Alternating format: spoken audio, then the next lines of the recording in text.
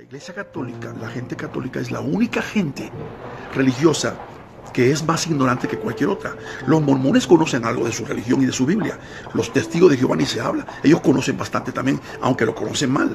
Pero la iglesia, la gente católica, su religión no la conocen y está llena de herejías. Yo te quiero compartir rápidamente 37 herejías 37 herejías que están dentro de la iglesia católica. Y yo desafío, quiero desafiar y retar a cualquier persona católica, cura, sacerdote, obispo, cardenal, hasta el Papa Francisco, el día que quiera, donde él quiera, que me diga a mí en la Biblia dónde se encuentran estas enseñanzas católicas. Número uno, por ejemplo, el bautismo de niños. ¿Ah? ¿Dónde está el bautismo de niños? Los niños no se bautizan. ¿Dónde está la misa número dos? A los muertos. Los muertos ya no tienen lugar en esta tierra. La Biblia lo dice en Eclesiastes, no tienen parte debajo del sol. La palabra dice. Número tres, sacramentos. Número cuatro, venerar imágenes. Venerar imágenes es igual que idolatrarlo. ¿Sabe que la Iglesia Católica, a los católicos les enseña este truquito diciendo, es que nosotros no adoramos las imágenes, las veneramos. Ah, por favor, venerar, adorar es la misma. Es un juego de palabras simplemente y Dios dice y condena que eso es una abominación. Dios no comparte su gloria con absolutamente nadie. Éxodo capítulo 20 le hace los mandamientos. Número 4, venerar imagen. Número 5, Inmaculada Concepción de María. Número 6, virginidad perpetua de María. María tuvo más hijos después de Jesucristo que, vino por obra del Espíritu Santo, obviamente. José, Simón, Santiago y Judas, por lo menos fueron cuatro medios hermanos de Jesucristo. Número siete, purgatorio. Purgatorio, ¿dónde está en la Biblia el purgatorio? Amigo católico, con todo el amor que te tengo, ¿dónde en la Biblia se encuentra purgatorio? Ah? La Biblia dice en Hebreos 9:27, está establecido que el hombre muera una sola vez y después que el juicio. El purgatorio es como una forma de, de ayudar a la gente que no se portó bien, que andaba muy mal que lo pasan por el, le pulgan sus pecados y lo mandan al cielo. Eso es una gran herejía, terrible abominación. Número 8, infabilidad papal. El papa no es infalible, es imperfecto, como todo ser humano, como todos somos. Número 9, María como mediadora o intercesora. María no es intercesora, María no es tampoco nuestra mediadora. Nosotros tenemos que ir directamente al Padre a través de Jesucristo. Jesús lo dijo en San Juan 14, 6. Yo soy el camino, la verdad y la vida y nadie viene al Padre si no es por mí. Número 10. Primera comunión. ¿Dónde está eso en la Biblia? a los niños especialmente número 11, confirmación número 12, el limbo, el limbo, el limbo parece un baile, ¿qué es eso del limbo? Por favor, ¿dónde está eso? 13. Transustanciación. La doctrina católica de la transustanciación enseña, escuche bien esto, que cuando el sacerdote ora por la hostia y se lo entrega a la persona, se convierte literalmente en el cuerpo de Cristo. Eso es una burrada. Sabemos, de acuerdo a Mateo, que lo que entra por la boca termina en la letrina. La iglesia celebra la Santa Cena en memoria del Señor cuando Él celebró su Santa Cena o su última cena. El pan representa el cuerpo que Él dio en la cruz y el jugo de uva representa su sangre derramada. Es todo simbólico y lo hacemos eh, hasta que Él venga en memoria de Él. Pero eso de la transustanciación es un invento, una locura, para que la gente piense que se están comiendo un pedazo del cuerpo de Cristo. ¡Qué gran herejía! Número 14. Confesión de pecados al cura.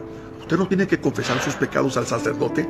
Primero Juan capítulo 1 dice, si confesamos nuestros pecados a Él, Él es fiel y justo para perdonarnos. Primero Juan capítulo 1 versos 8, 9 y 10. Lea la palabra, léalo categóricamente. Número 15, ascensión de María. María no ascendió. María se murió como todo ser humano. Fue bendecida, fue bienaventurada, fue escogida, fue una preciosa mujer. Y siempre será reconocida como esa tremenda mujer que fue instrumento del Señor para traer al Salvador al mundo pero ella no ascendió, ella murió y un día resucitará también en el tiempo final con todos los santos también. Número 16, agua bendita. ¿Qué es eso de agua bendita? Búsqueme en la Biblia dónde está el agua bendita. Número 17, rosario.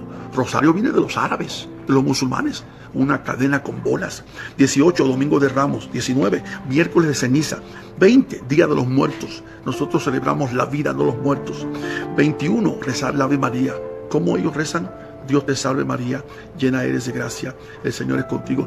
Pero ¿por qué estamos rezándole a María? Si nosotros tenemos que no rezar, orar y bendecir el nombre de Jesucristo, porque no hay otro nombre dado los hombres en quien podamos ser salvos, si no es en el nombre de Jesucristo. Usar crucifijo. Nosotros no tenemos que andar usando el crucifijo como en las películas para espantar demonios y ahí viene Drácula, lo echo fuera con el crucifijo. Señor, reprenda al diablo.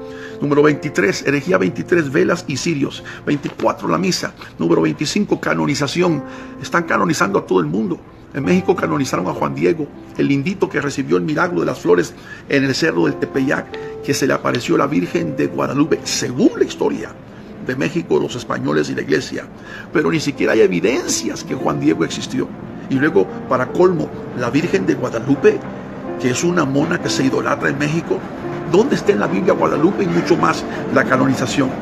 26, el papado, que Pedro fue el primer papa. Pedro fue papá, no papa. Él tuvo hijos, tuvo suegra. 27, la Semana Santa. Para mí todas las semanas son santas. Número 28, pescado en viernes. Yo puedo comer pescado si quiero el martes, el domingo como el miércoles también. Pero la Iglesia Católica tienen esas herejías terribles. 29, cuaresma. El 30, procesiones. 31, misas pagadas. Se pagan las misas, ajá, gregorianas, novenarias, por los muertos. 32, celibato. Por eso es que de los 430 mil sacerdotes católicos en el mundo, probado con estadísticas que el 85% o son abusadores de niños, son homosexuales o son alcohólicos. O algunos tienen las tres, las tres cosas. Increíble. ¿Por qué? Porque tienen el celibato. Y ese montón de monjas miles y miles de mujeres que desde pequeñitas, desde los 15, 16, 17 años, se meten a esos conventos, terminan siendo lesbianas la mayoría de ellas, hasta se embarazan con los curas que las visitan. Escándalos han habido grandísimos en muchos conventos, como en el de Irlanda, el año pasado que descubrieron un montón de fosas de niños abortados. Esto es una realidad. Amigo católico, te amamos en el Señor, pero abre tus ojos celibato para curas y para monjas. ¿Sabe por qué la Iglesia Católica, como en el siglo X, XI o XII, decidieron establecer que el sacerdote no se case y lo que hacen es que le dan un anillo para casarlo con Dios, para que ellos se queden con todas las propiedades? porque la religión católica es la religión más rica del mundo entero. Y pensar que los católicos se la pasan insultando, ofendiendo, de groserías, porque esto es lo que pueden hacer. Porque con todo respeto y con todo amor lo digo, la gente católica son los religiosos más ignorantes del mundo. Los testigos de Jehová son religiosos, falsos, pero conocen Biblia, falsos. Los mormones también son religiosos, pero conocen Biblia, falsos. Los adventistas conocen, falsos. Y los católicos casi no conocen. Aquí mismo en Italia, yo estoy en Milán, yo estoy en Milán, Italia en este momento, transmitiendo en vivo.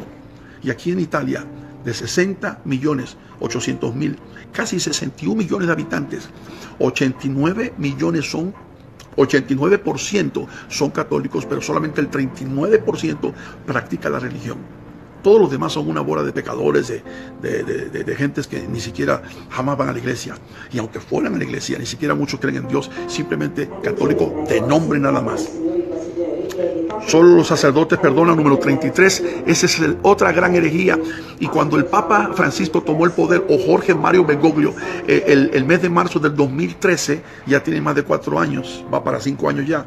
Ahora, en el próximo mes cumple cinco años que tiene poder.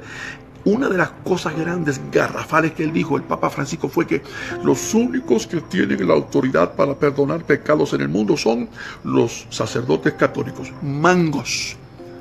El único que perdona pecados es Jesucristo y por eso la palabra dice que si nosotros venimos a Él y nos humillamos, Él nos perdona nuestros pecados.